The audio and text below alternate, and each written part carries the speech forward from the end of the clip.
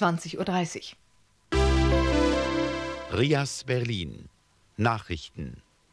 Die DDR lässt sich nach Angaben von Ministerpräsident Stoff in ihren Beziehungen zur Bundesrepublik weiter von Realismus und gutem Willen leiten.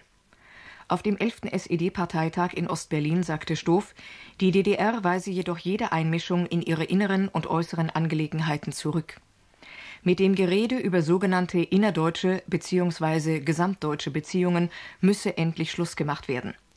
Die DDR sei an einer Stabilisierung der Lage in Europa interessiert. Diesen Zielen laufe die Entscheidung der Bundesregierung zur Teilnahme an den Sternenkriegsplänen der USA zuwider, meinte Stoff. Er fuhr fort, Bonn müsse sich seiner Verantwortung bewusst werden und zur Festigung des Friedens nicht nur mit Worten, sondern mit Taten beitragen. Die vier gestern Abend im Zusammenhang mit einem gescheiterten Anschlag auf einen amerikanischen Offiziersclub in Ankara festgenommenen Verdächtigen sind libysche Staatsbürger